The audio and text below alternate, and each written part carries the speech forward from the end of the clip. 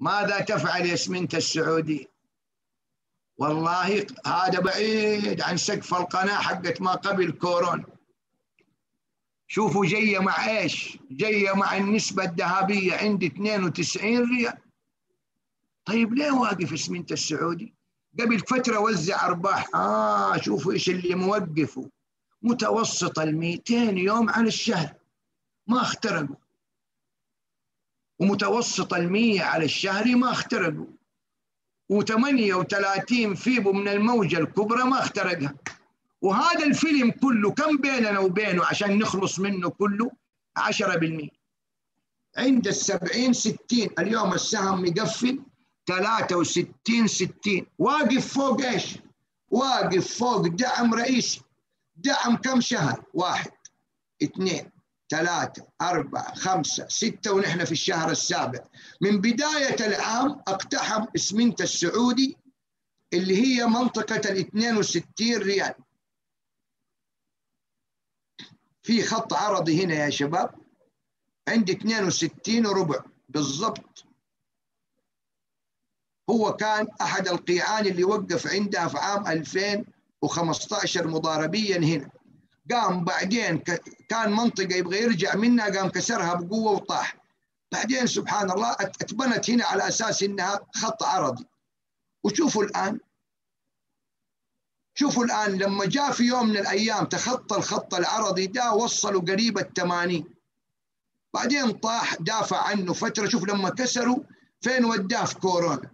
بعد أزمة كورونا رجعوا فوق الخط العرضي ده اللي هو كم؟ 62 وهذا أهم دعم فين لإسمنت السعودي. طيب لو جاء واحد قال لي يا أبو محمود طيب كسروا لك ال 62 خلال شهر سبعة. طيب نقول له هل في إغلاق شهري؟ قال لا الشهر ما خلص. نقول له كسر مضاربي. الدعم الاستراتيجي على الشهر الأهم والأقوى بصراحة إذا تبغى الكلام السنة هو متوسط الخمسين مع الثلاثة وعشرين فيه فاحتمال كبير المجرم إيش يسوي؟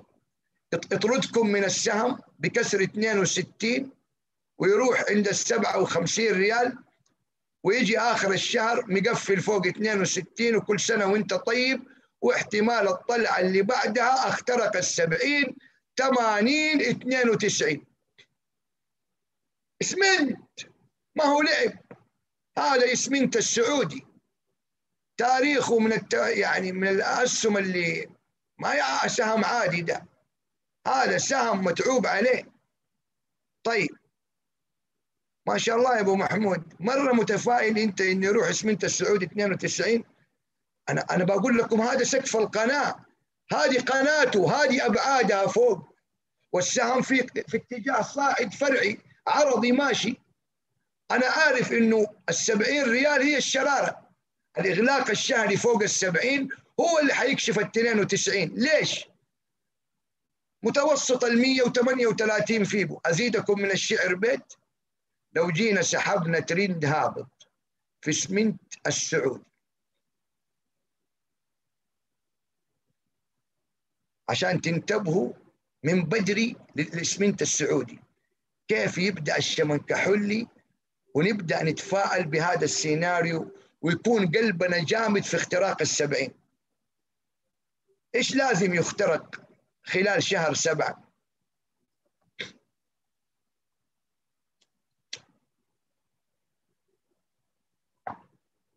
ها خط الترند.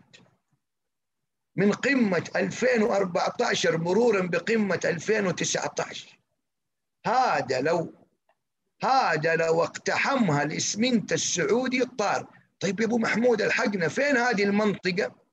هذه المنطقة يا أخوان عند مستويات يعني خلينا نمشي على النظرية 67 67 بيننا وبينها 3 ريال ونص.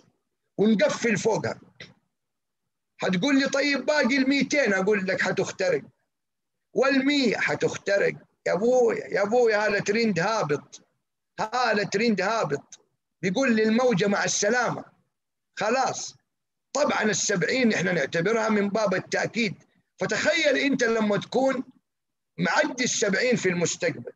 إيش يكون صار عندك؟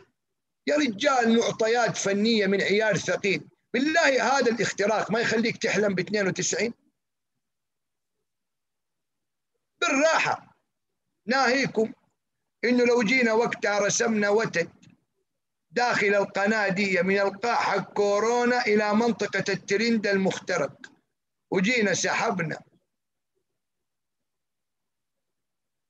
وجه. خلينا نرسمه مظبوط. لو جينا سحبنا وتد من هنا لهنا. يا رجال. يا رجال بالراحة بالراحة. هذا إذا ما كمان هدف الوتد وداكم فوق السقف لكن إحنا حنمشي مرحلة مرحلة. شغل متكتك. خلاص يا شباب نقول الآن للمضاربين دعمكم عندي 62 وربع ما دمتم فوقها أموركم طيبة راقبوا مع الأيام اقتحام 67 68 الترند مع متوسط ال 200 وهذه من أهم المقاومات الشهرية زائد ال 70 60 عشان يتحقق السيناريو الحلو ده. لكن لو كسر 62 إيش نسوي؟ نطلع؟ لا لا تطلع. إذا عندك كاش احتياطي يقول له لو كأنك رجال تعال. تعال 58 57 شيل ماركت وعدل لأنه هنا دعم شهري من عيار ثقيل. هذه المنطقة يا أخوان تعتبر يمكن آخر فرصة قد يجدوها ملاك الإسمنت السعودي للشراء والتجميع استعدادا للمستقبل في حال اختراق السبعين ريال. نسأل الله التوفيق للجميع. ما زال المستقبل قوي للإسمنتات خلال عام 2021 ننتقل الآن إلى